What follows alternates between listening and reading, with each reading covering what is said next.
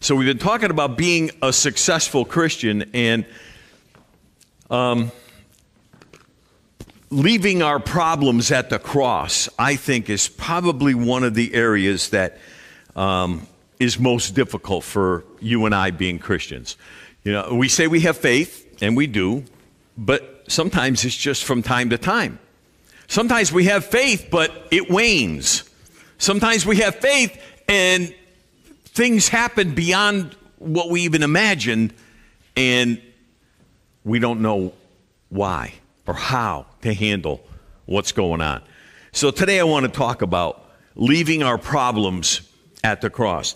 God is good all the time, but not just because it's a saying, not just because it sounds good. No, it's because all that God has done from the beginning of time until today, this very moment, He's always working for the good of His children.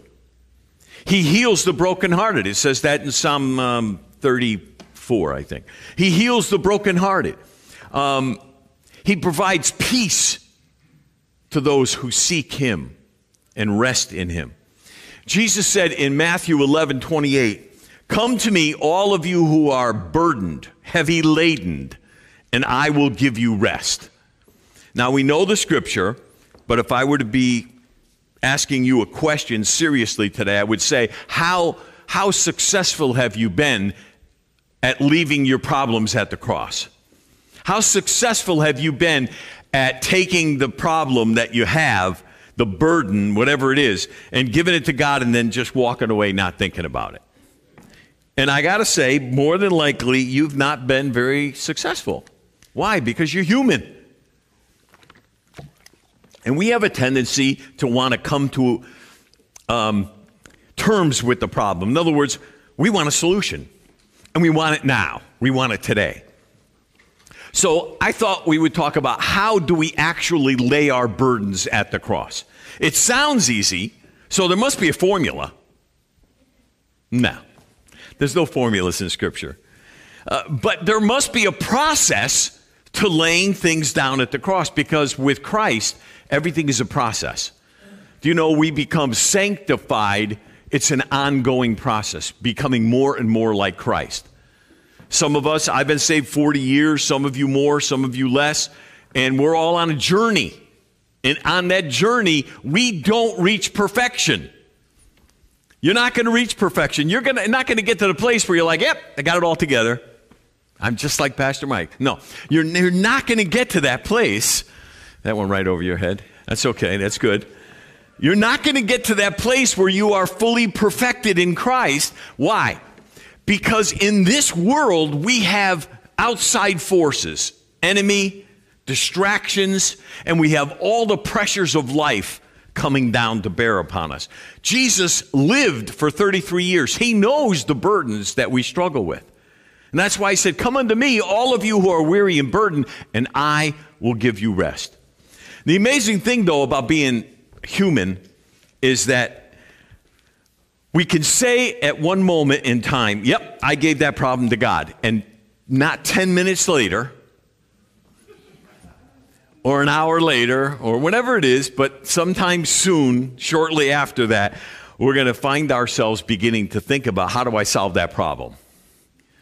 What else can I do? Maybe if I maybe if I fast more. Maybe if I study more, maybe, maybe ah, I got to do, there's got to be something I have to do because that's human nature. We feel like we need to do more. That's why a lot of people have tr- uh, trouble with becoming a Christian because they can't get it through their head. They know how bad they are, they know how inherently evil we are as human beings. They know the thoughts, we all live them. And, for us to say, well, God covers all of that, all we have to do is believe on Jesus. It's so easy that we just can't accept it. We just can't accept the fact that a holy, righteous God covers all of our problems for us. All we have to do is just say yes to Jesus. See, all of this, believing in Jesus, believing how to lay your burdens down, all of this has to do with our humanity. And since Jesus was a man, he died on a tree as man. He laid aside his deity. Think about that for a moment. All of this we struggle with today, but there is a solution. And the solution is learning how to get to the place where we can lay it all at the foot of Christ. Now, how does it start? So, to lay down your burden completely means dropping it off and letting go. Now, those of you who have children, okay, uh, when, uh, come on now, I didn't say anything yet. Those of you who have children, you know, when the baby's first born, the first time you drop it off or a babysitter comes, you're like calling every hour. How's the baby? Is the baby okay? You know, when the kid is one year old, you're like, here, see ya, I'll call you later, you know. You're like out the door, gone, you know, you don't even call the babysitter one time. You're just like, I'm looking for space. I'm letting go. Why? Because you laid down the burden and you forgot about it, at least for a couple of hours. That's what it means to lay down the burden at the cross of Christ. It means that thing is creeping me out, no matter even if it's covered or not. It's just laying it down at the foot of Christ, whatever burden, whatever problem, whatever trial you're going through, means you're going to give it to Him and then you are not going to return back to the problem. You're not going to call. You're not going to start. Well, uh, maybe if I pray more. Maybe if I. You're not going to do anything except believe God, trust in God, and God, believe it or not, is very excited when we do that, because it shows what? It shows we trust Him. Shows we trust Him. It's kind of like having a friend. When you begin to trust, relationship builds and goes deeper. Amen. Now at least with me, I find many times that learning to do something new, and I hope what you're learning today for some of you might be brand new, but it is new because we really don't know how to leave our problems at the cross. So, me, I've made many errors over the years. Am I completely successful at leaving problems at the cross? No. I'd be lying to you if I said I was. But I'm much more successful at it today than I was before, even just a few years ago. See, I'm stubborn, I'm self willed, and I don't like to give up control. And I know none of you are like that, right? No, no, no. None of you are like that, Joe or anybody else. No, none of you are like that. Just me. Um, but in hopes that you're all just lying and you're just like me, um, I'd like to give you some personal scriptural advice. Personal because I've lived it, scriptural because that's the only thing that can help you. My advice can't help you, but my experience and how scripture applied in my life helped me, it can help you. So before we get to that, did you know, first of all, okay, uh, I don't know how I skipped that. I got it. I think this is working. But did you know that having the Holy Spirit is better than having Jesus present with you at the moment? Now, some of you are going to start to get, what? What's he talking about, man? That sounds weird. Don't get nervous. Don't get nervous. Jesus said this. He said, Nevertheless, I tell you the truth. It is to your advantage that I go away. For if I do not go away, the helper will not come to you. But if I go, I will send him to you. We have the Holy Spirit. God sent his helper, one part of the Godhead, the Holy Spirit, to us. If it wasn't necessary to have the Holy Spirit, why would God send them to us? It was necessary. So it's necessary for us that we understand the power and the presence, the significance and the importance of the Holy Spirit. Jesus was confined to a body when he was here on earth. In other words, he couldn't be in more than one place at one time. Why? Because he laid aside his deity. He was man. But the Spirit was able to reach and touch every single one of them at any time anywhere in the world. So when Paul was in Asia or wherever, and, and Matthew was here and, and John was here, the Holy Spirit was available to them, just as he is to us today. In this little place, Old Lyme. You look on the map of the world like you can't even find it. but yet God's available to us today. See, the Spirit, His Spirit is with us and He's in us. And if we know Jesus as Savior, He helps us walk out our daily life. Every problem, every situation, He is concerned with. Now, for me, my best friend in the whole world is my wife. You know, we've talked about things, we've laughed about things, uh, we've been angry about things. We've gone through it all. We love each other in sickness and health, um, good times, bad times. We've been with each other. We, we've proven a commitment to each other. But as great as my relationship is with my wife, there is one better. There's one better for her, and there's one better for me. That is our independent relationship with Jesus. See, it's the relationship that I and that she has with God through the Holy Spirit that strengthens each of us independently, that allows us to come together corporately to do the things that we're able to do. The Spirit is always with me. No matter where I go, no matter what happens in life or death, okay? If I leave this earth tomorrow, the Spirit of God is still with my wife. If she leaves, the Spirit of God is still with me. And it's amazing for me, and it's a comfort for me to know that I have a friend even closer than my wife. Think about that for just a minute. In John uh, chapter 15, verse 15, it says this It says, No longer do I call you servants, for a servant does not know what the master is doing but I have called you friends. For all that I have heard from my Father, I've made known to you. Can you imagine God actually calls us friend? Think of, just really think about that for a minute. Think about a friend you have. And, and try to really imagine is Jesus my friend like he or she is my friend?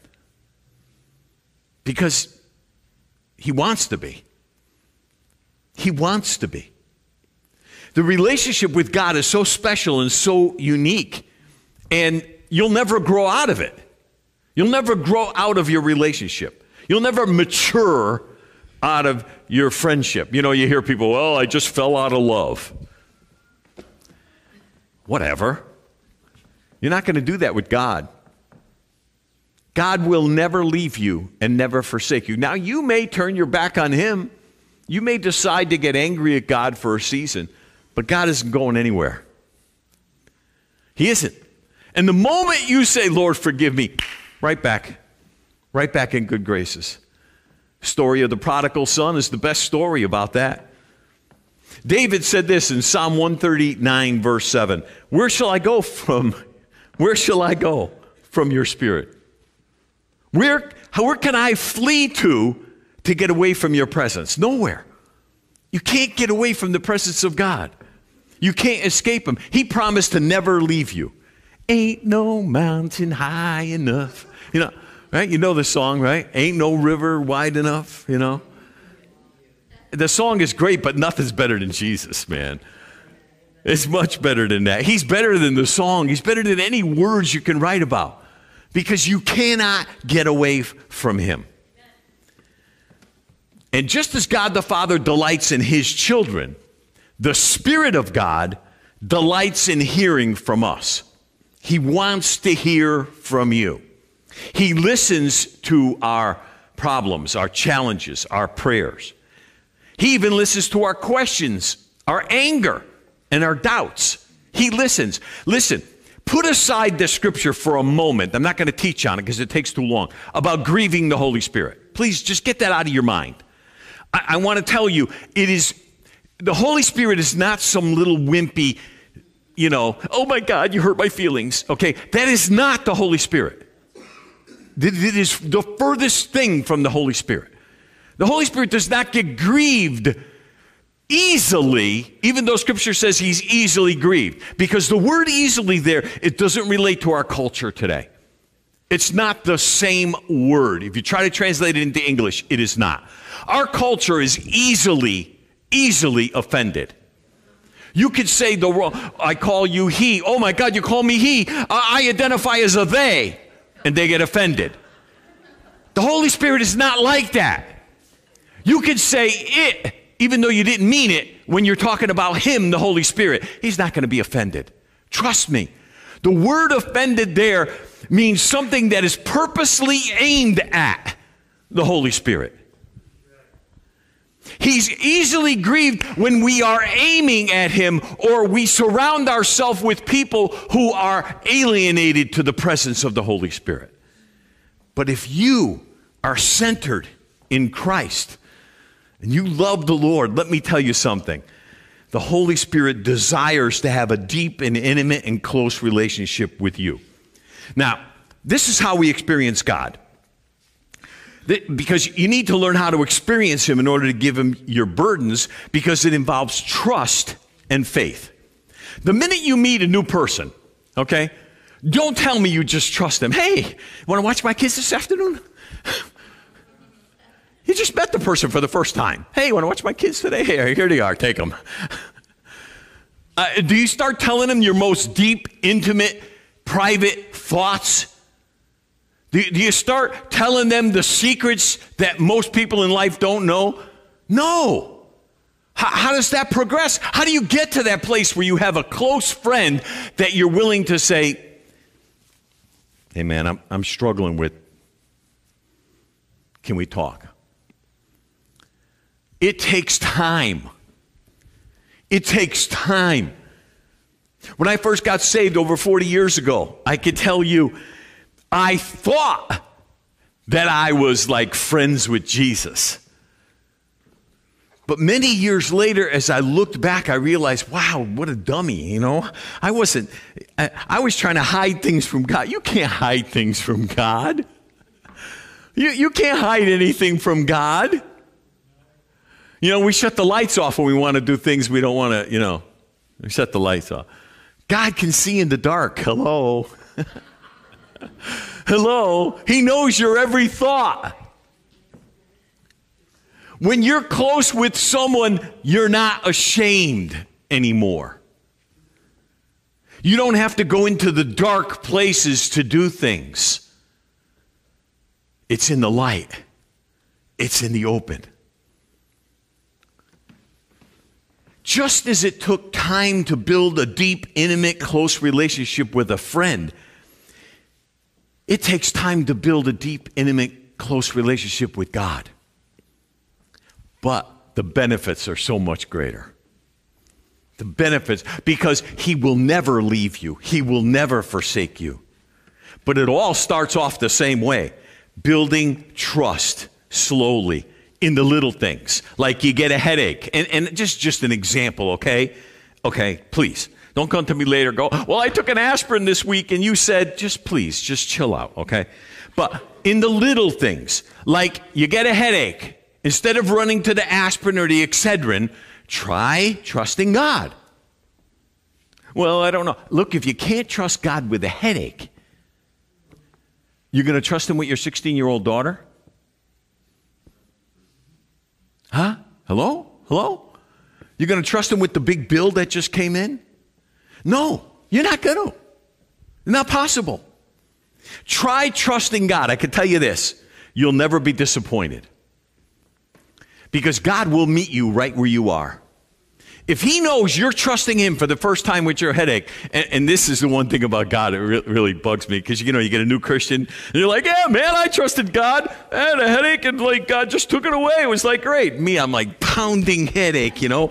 I'm like, no, I'm not going to take any aspirin. Two days later, pounding headache, you know, it's still going on.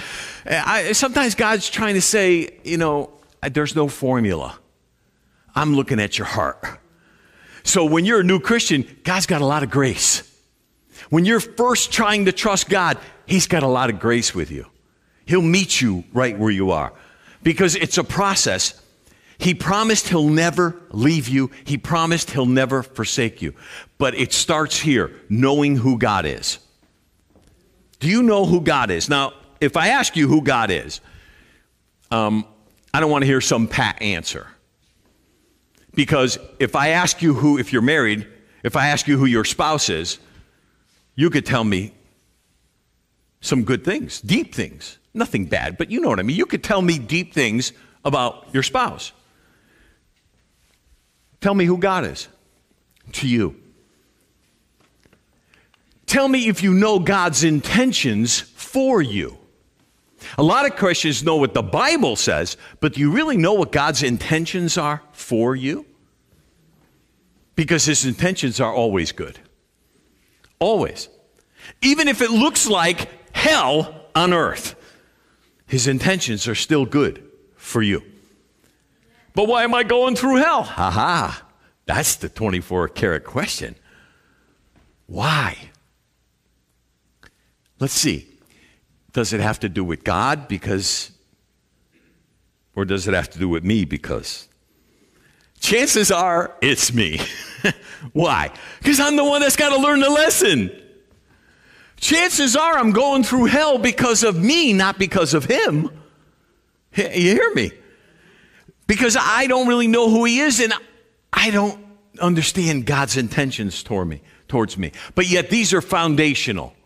This is foundational to leaving your burdens at the tree. It's foundational to getting to the place where you can surrender control. Hello, all you control freaks out there. Come on, I know I'm not the only one. Come on. You know. Come on. You know. You like control. You want to determine the outcome. Yes, amen. Who said that? I like that. Good. Amen. Most of us do. But yet, God says, I want you to surrender control to me. I, I, mean, it sounds so simple, but how impossible is that for many of you? Really impossible, right? It's like the first time your kid asks you to take them driving I mean, me, I was like, uh, Bill's driving school. Call the phone number and get the guy on the phone. There's no way I'm taking you out driving, okay? Why? Because I don't trust you. That's why. I don't even trust some of you. No. I know, I know, I know. It's coming back to me. I don't want to hear it. But see, surrendering control is huge. But I could tell you, in many instances, I've gotten to the place where I could surrender control. I'm like, oh man, success. But that's not the end. There's always having patience in waiting for the result, the answer. Now, granted, none of these four things are easy to do. But starting with number one, can you say without a doubt that you know who God is? Okay, I can go home. We can all go home right now and just stop right there. Because this is probably question number one is probably three months of teaching. Honestly, I'm being completely candid with you. I actually thought about breaking this down. And I went, oh my God, it's like a whole year. it's like these four things will take a whole year. But for the sake of expediency and the presence of the Holy Spirit bringing to recall the things that you need, you could speed that process up very, very quickly. See, maybe some of you do know who Jesus is, who God is. But once you know who He is, and once you know God's intentions towards you, your whole life will change. It just will. It will shift. The way you view other people will change. Your patience level will change. Not because you want it to, but because the revelation of who He is, the revelation of His intentions towards you, it will change you. beyond a doubt. But it doesn't end there, like I said, because we get to the final, we think the end, I've surrendered control. Wow, I'm there. But then we have to patiently wait the outcome. And knowing that whatever the outcome is, I have to be satisfied with it. I don't want that kind of answer. I want the answer to the question I want, and I want the answer now. Praise God. Right? See, just admit it because that's who most of us are. I can't wait months for you to answer me, God. But guess what? You end up waiting months. so all this takes time. And yet, with each new challenge, each new burden, each new situation that arises in your life over life, over time, every single new challenge will take a new revelation of who God is. Because each circumstance shows a different part of God in your life and how God is working in your life. So, what I want to give you today are some practical steps. Um, if you saw the movie, What About Bob? Baby steps, okay? Baby steps. And that's kind of what these are. And I, I, am not being, I, I don't mean to be insulting at all. Honestly, I'm just being extremely serious. But if you use this and take baby steps, what you'll find is revelation at the end of the tunnel. God's there. Number one, let's go. Talk to God about your problem. Sounds really simple. What does it mean to talk to God? Well, that's a form of prayer, talking to God as Christians, the first person we should communicate our problems to, or we should communicate with, it should be God. It just, that should be the place we go, not man.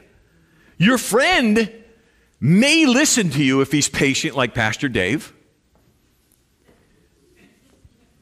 If he's like me, he may listen, but his foot is slowly trying to make it to the door You already know that about me, so I'm not revealing anything new. Um, there's nobody as patient as God. And He's the one we should pour out to. See, but most of us prefer to share with a friend first. Why? Because misery loves company. We just want someone else to share in all the garbage we're going through.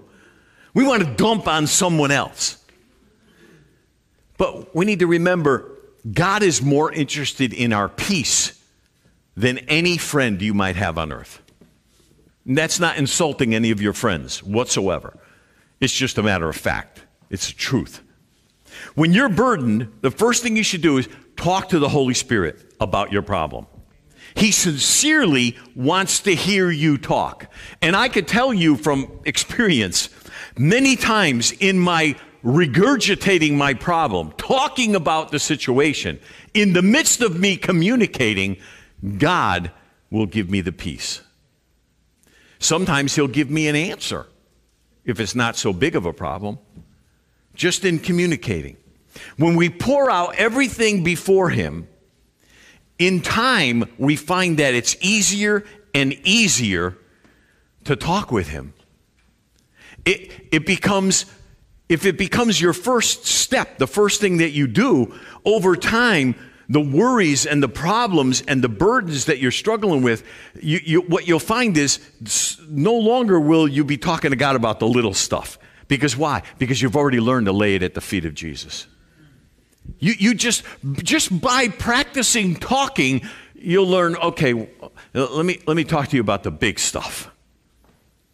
Let me talk to you. Well, this, yeah, this will take care you, you begin, faith begins to build.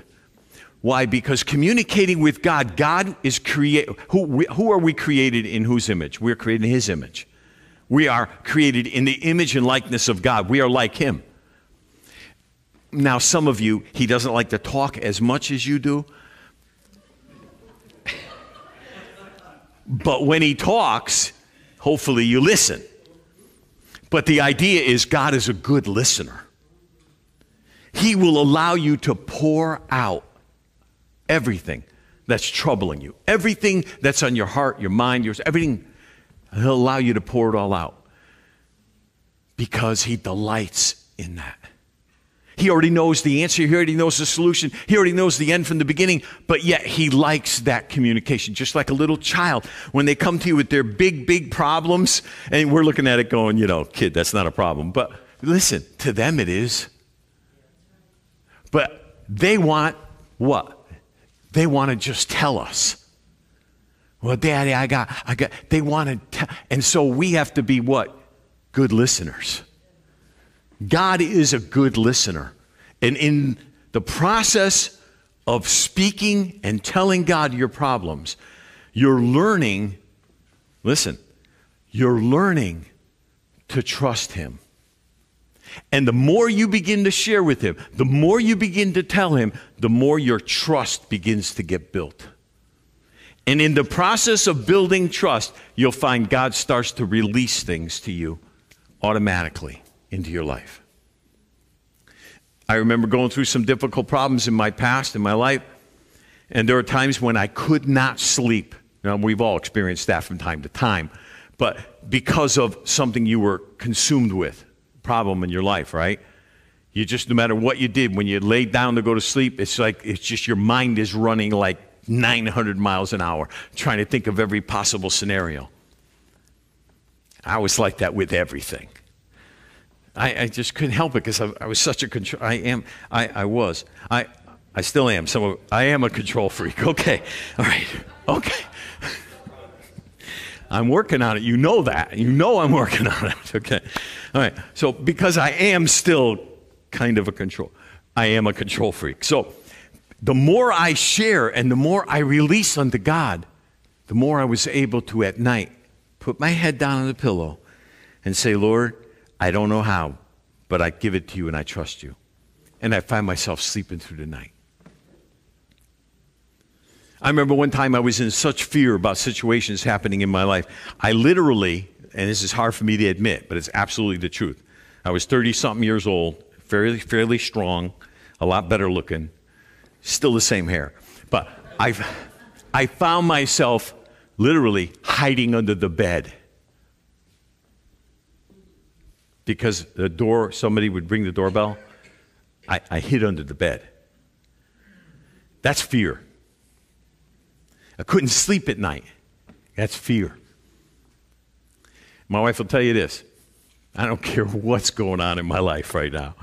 99 out of 100 nights, I put my head on that pillow and I'm going to bed, baby.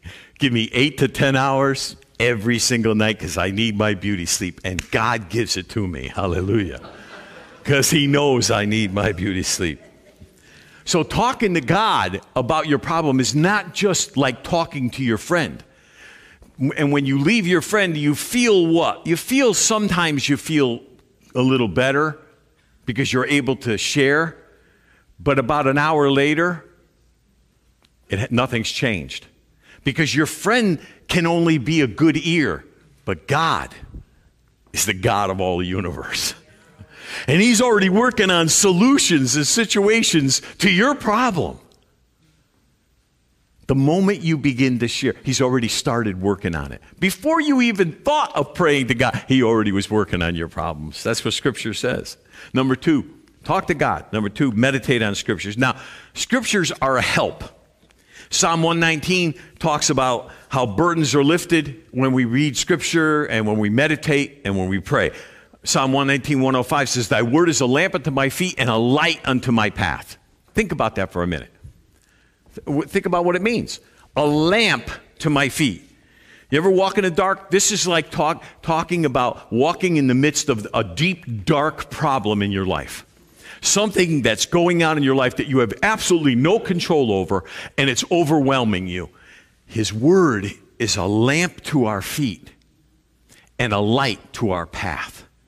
So not only do we know where we're stepping, but we know where we're going.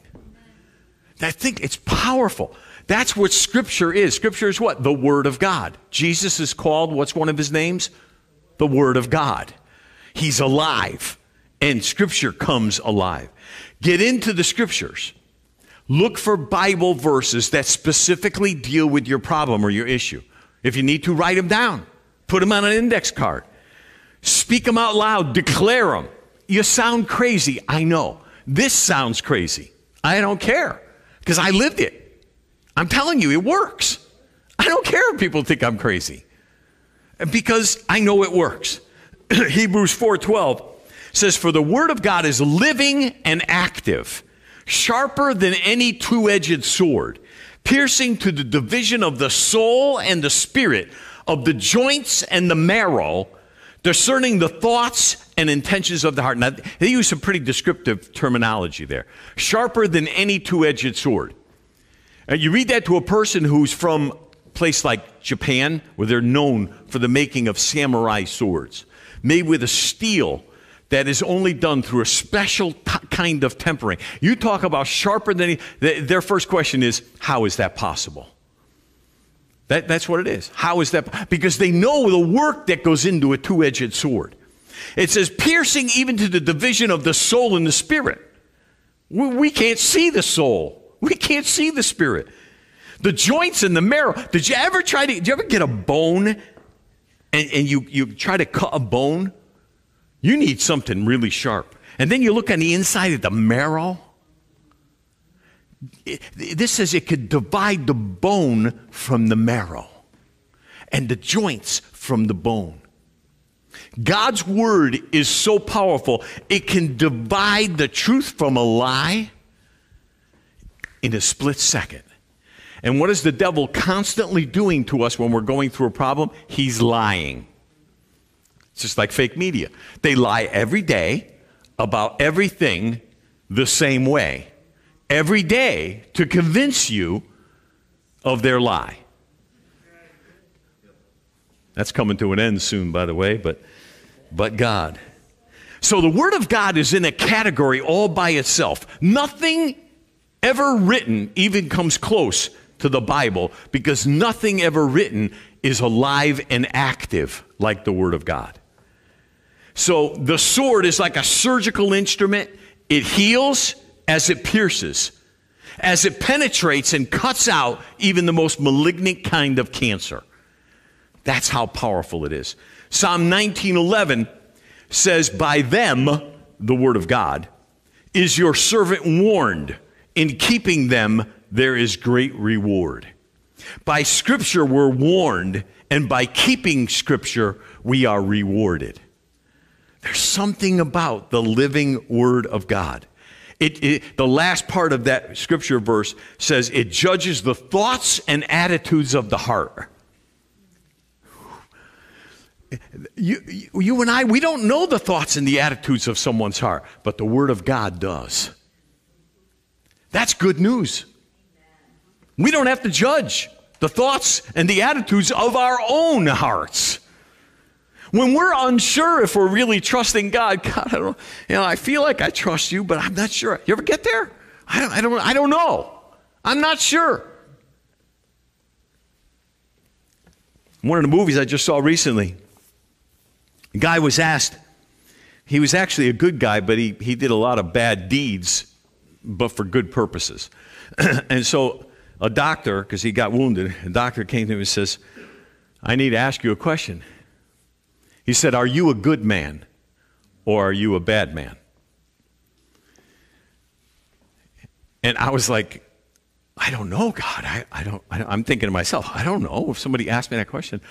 And, and a little bit later on in the movie, the old man who asked the question, he, he said, um, uh, the other guy said, Why did you ask me that question? He said, Your answer to me was, I don't know. He said, Only a good man would say, I don't know. And I thought about that and I said, you know, God, there's truth in that because I don't know. No, but, but there is. There's truth in that. Astonishingly enough, life generating things happen with the Word of God because the Word of God is able and capable in and of itself to accomplish great things. Isaiah 55 11 says, The rain and the snow come down from the heavens and stay on the ground to water the earth. They cause the grain to grow, producing seed for the farmer and bread for the hungry. It's the same with my word. This is God speaking. I send it out, and it always produces fruit. It will accomplish all I want it to do, and it will prosper everywhere that I send it. That's God's word. Acts 2 41, on the day of Pentecost, when Peter preached the message of salvation in Christ, those who heard it, listen, were cut to the heart. Sword, piercing heart, cut to the heart, and about 3,000 people were saved. Maybe you've never experienced this. Some of you are good at evangelizing. Hopefully, you have. I've experienced it. You know, you try telling people about Jesus, you try giving them, you know, all your head knowledge and, and all these, and answer their questions. And what I found is listen, just give them the word. I just got to shut up and give them the word of God. And it could be the most obscure scripture, it doesn't matter. One of the famous uh, evangelists uh, uh of the uh, 20, 20th century, and I can't remember which one it was, but anyhow, his testimony was this. There was a guy taking an old Bible and he was tearing out verses and handing them out on the street corner. He said, I got a verse from him. That night, I gave my life to Christ. And so the audience said, What scripture did you get? And he says, In all the days of uh, who lived the longest? Enoch? Yeah, and all the days of Enoch were 975, and he died. I'm like, what is that? He said, I suddenly had a realization of my own mortality. what? I mean, but that's how God works. He met him right where he was because it was alive. So the Word of God is vital to us as Christians. And God, in mercy and grace, gave us His Word. And his word is, it's a love story. It's a love story written, woven through all these beautiful verses.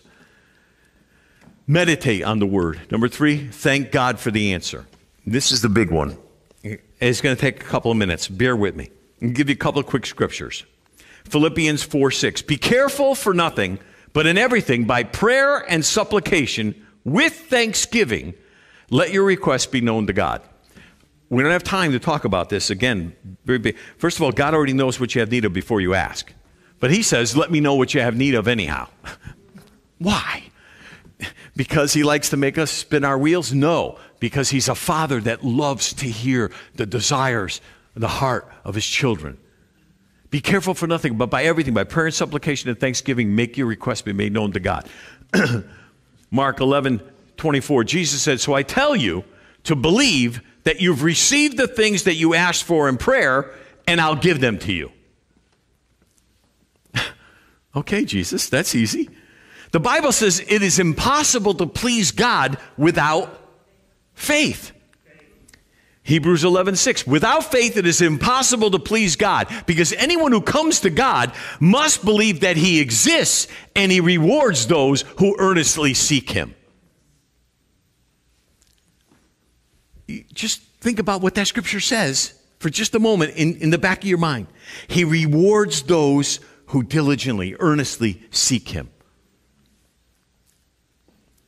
If faith is this important, then why in the world, how in the world, what in the world do I do to live by faith? Because faith is obviously so important. How do I get there? How do I believe what I don't see? The Bible says that faith is being sure in your heart of what you do not see with your eyes. now, faith is being sure of what we hope for and certain of what we do not see, one translation says. Faith is the substance of things hoped for and the evidence of things we can't see. I remember in Bible school that verse, we had to write an essay on the meaning of that verse to us. I remember I sat in my room in my our apartment. I sat there on, without exaggeration. It must have been two hours. And I could not think of one thing to write. Not one. There was faith, substance of what I can't see, evidence of something I, I, I, I don't get it. Faith is visualizing the invisible. You see it, but only in your heart. You long to see it in your natural eyes, but you have to first see it in your heart. Our problem is we get this reversed. I only believe what I see. When I see it, then I'll believe. Eh, wrong. That's backwards. You got to believe it before you see it. So, what I've learned to do, and my wife was really instrumental in helping me to learn this.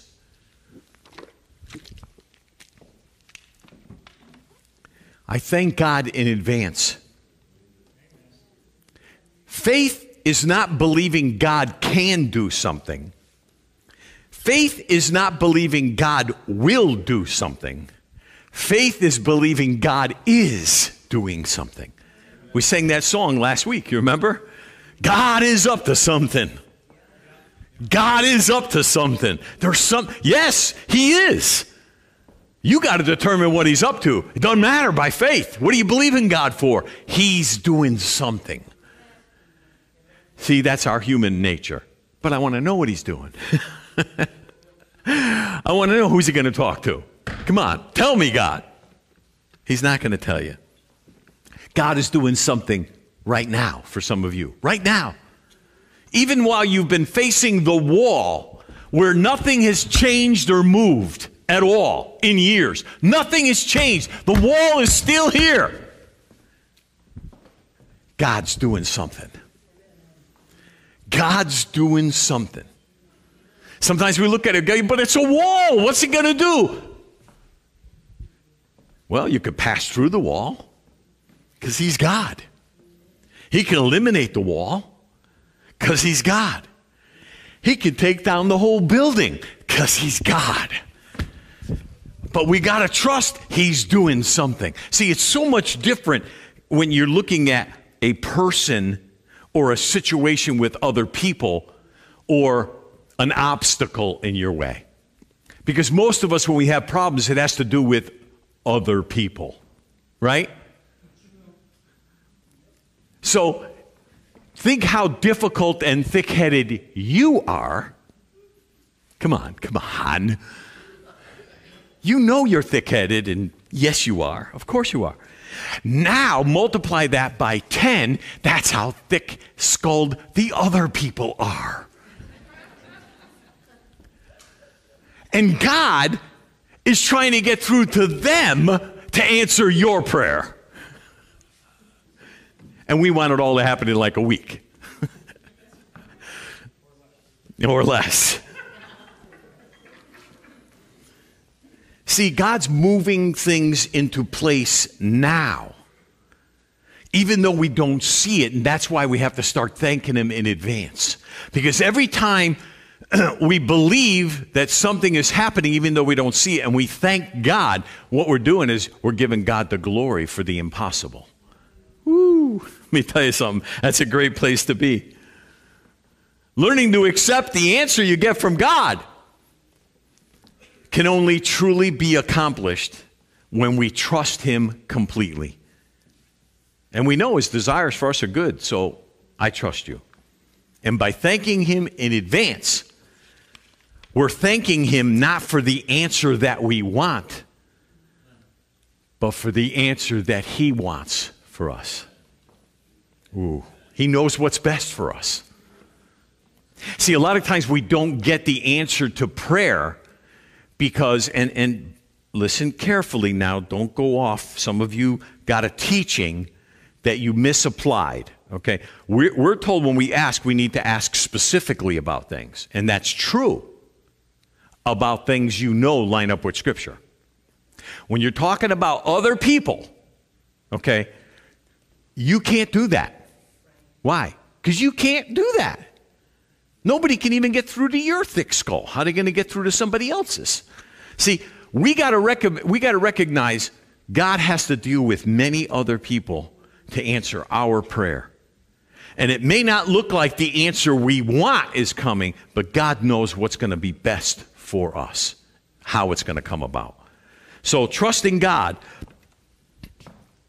thanking Him in advance that when whatever the answer is, I'm thanking you for it now. Thank you, Lord. Thank you. You know, that's total relinquishment of control. Total. Because you're trusting God that His answer, even though you only want this way, exactly, and God's going to give it to you a different way. Fourth point don't talk to anybody unless they're like minded. I'm sorry, I don't know what else to tell you. This is the best advice. This, this is this why I saved it here. Don't talk to people who are not like minded. You're wasting your time. You're spinning your wheel. It doesn't mean you can't be with them, you can't be friends. I, I'm saying when you're believing God for something that's so impossible, don't share it with people who don't have the ability to believe like you do. Because number one, they're going to be either jealous or envious or think you're nuts. Or all three. Hello? A perfect person to share your burdens with is someone who is not just anyone, but someone who has been filled with faith more than you. Listen, more than you. Always, I always look for someone who has more faith than I do. If I have a problem, I am not going to share it with just everybody. I won't. I talk to God, and then I'm going to go to find somebody who's got more faith than me about whatever the problem is. Because why am I going to share down? right? I'm going to, sh- I mean, nothing wrong with this, but, you know, if I have a monetary problem, I'm not going to go share my monetary problem with somebody living on the street. Hello. Right? Nothing against that person. But what are they going to give me? They ain't going to give me anything. Not that God can't give me. They're not going to give me anything. I'm going to go talk to people who made it. I'm going to talk to people who've been successful. I'm going to talk to people that have heard from God, got answers from God, living a successful life, doing the right thing. That goes for anything in life. I mean, you want to buy a piece of real estate, right? What are you going to go talk to? A homeless person? Are you going to talk to Robert Kiyosaki, who owns 14,753 homes as of last week? 14,753 homes. Hello. I'm going to go talk to him. I'm going to read his books. Why? Because he knows how to do it. God, we're so stubborn. Hallelujah. See, there's something about a three stranded cord. When you find someone who has the ability and the understanding to walk in faith, and you share it with God, and you, the three of you become a three stranded cord. Scripture talks about that, Ecclesiastes 4:12. And though one can overpower him who is alone, two can maybe resist him, but a cord of three strands is not quickly broken. Something about three. Something about three. So I want to surround myself with someone who's better, stronger, more faith than I am, and God and me. Period. End of story. Nothing wrong with any of you. Don't take anything personally. It has nothing to do with that. And the last thing is speak things that be not. What does it mean? Well, Romans 4:17 says as it is written, I've made you the father of many nations. Now, God says this to Abraham, who's married to a 90 plus year old woman. Yeah, I'm going to be the father of nations. Hello, I got no kids and I got an old lady wife. Hello, God. Hello. What are you going to do? Now, we look back on it because it already happened, and so we go, well, God will just give her whatever. Come on. Think about it in the sense of reality. Hello. Her womb is dead. And she's right behind it. Hallelujah. She probably looks at Abraham and goes, Oh, come on, really again? I mean, he does. She's 90. Come on, guys, you're married. It's okay. And Abraham is like, But God said, but God said, I'm going to have so many kids, it's going to be like a nation. It'll be like the stars in the heavens. Come on, Sarah. Come on.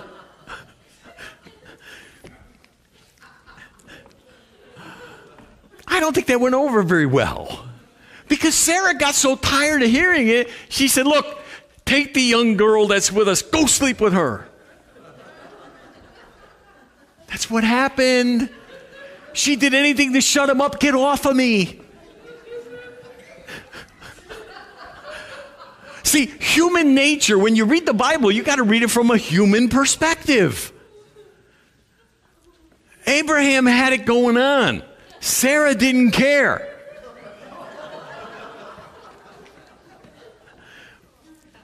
Hallelujah. Joshua 1 and 8, and, and this is a great scripture, says, This book of the law shall not depart from thy mouth, but thou shalt meditate there, sh- thou shalt meditate therein day and night, and seek to do according to all that is written therein.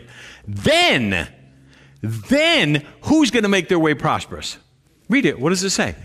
Then you will have good success. You will make your way prosperous. When we meditate on the Word of God, we get built up. We get faith. We get to. Bl- Abraham was called the father of faith, but did he have a lot of faith? Hello. He took Hagar. How much faith did he have? It was minuscule, guys. Hello. We have the Word of God given to us so we can meditate therein day and night. Seek to do what the Word of God is telling us to do in the situation, whatever you're facing, and believe God for the impossible. Proverbs 420 My son, be attentive to my words, incline your ear to my sayings. Let them not escape from your sight. Keep them within your heart, for they're life to those who find them, and healing to all their flesh.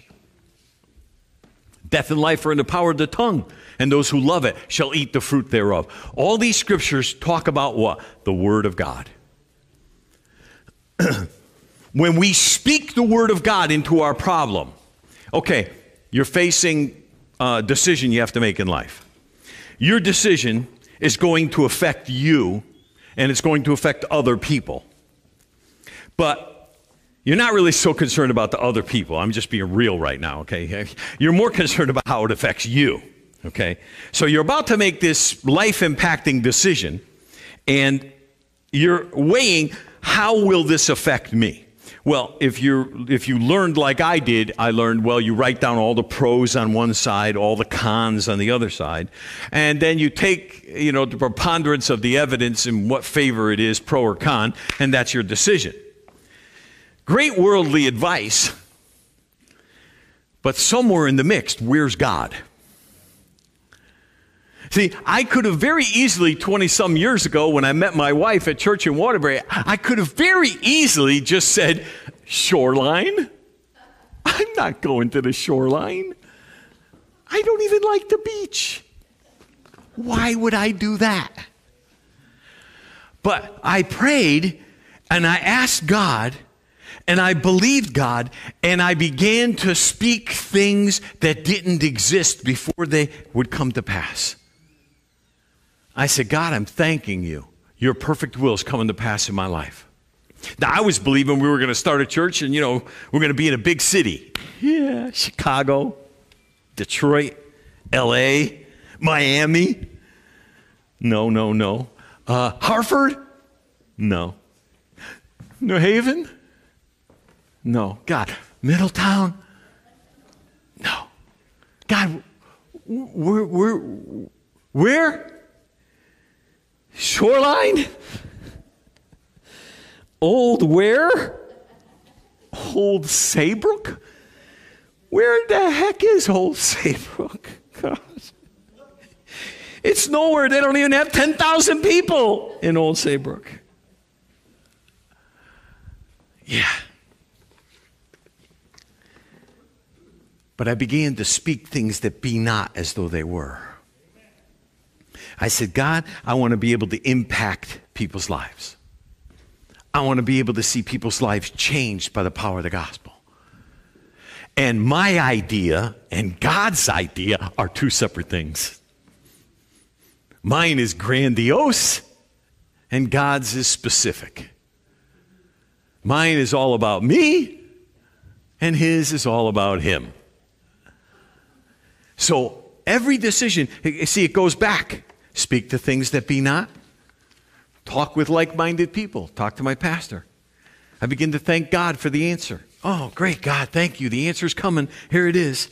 Ah, thank you, God. I'm thanking you. The answer is here. The answer's on its way. You're going to give me the desires of my heart. Praise God. Yeah, Old Saybrook. But I was speaking things that be not as though they were. Are you happy with my decision? No, I'm really not. Patience, my son. Patience. Remember the first four things we talked about? Remember? I don't even remember. I got to look them up because I lose my thought pretty quickly. But if you do remember, it goes like this knowing who God is, knowing God's intentions for you, surrendering control over the outcomes, and then waiting. Remember, I said waiting is always the hard one. Waiting. I'm still waiting. no. Uh, I've surrendered to God the outcome. And I'm waiting because, see, what we think and what God thinks are always two different things. His ways are higher than our ways, His thoughts higher than our thoughts. But in the end, it will be all that God wanted it to be. In the end, I will have accomplished all that God called for me to do. It may not be what I thought, but it's what He thought. Your life is exactly the same way. So I hope, now there's a lot here, so you can listen to it again. You can go online, you could do that. But I hope you begin to employ these things. Put them in your life because it will help you get through to lay the burdens at the foot of the cross. Because that's really what it's all about. We want to give up what we want and really want to be more in line with what He wants. That's a hard thing to do on a regular basis. But once we start to do it, we do it once, we do it twice, you do it 10, 12, 20, start doing it, and after a while you begin to say, Yeah, God, you know, you were right. If I was in Chicago, probably would have had some problems, some trouble. Something would have happened. Who knows? The way I talk, somebody might have shot me. I don't know. Who knows? but God knows. God knows. So if you're here today watching, listening, and you never made a decision for Jesus Christ, I can, I can tell you this. It all starts there because none of what I talked about today will apply to you unless you're in relationship with Him. And God made it easy enough. He said, ABC admit you're a sinner, believe on my Son Jesus Christ, and C, choose to follow me. Again, hard decisions. We all can believe Jesus Christ we, you know, he lived, died, and rose again. We could admit we're sinners. We could do those. That's pretty simple. But choosing to live for Christ, that's hard. God wants you to, to fulfill your life's mission, your, the goal that he put you on earth for. That means giving up what you want and doing what he wants you to do. That's a choice for you to make. But if you'll do it today, I can't say you'll have a bed of roses and everything will be perfect, but I can tell you this you'll have an intimate and close relationship beginning with the God of all creation. And my friends, there's nothing greater than that.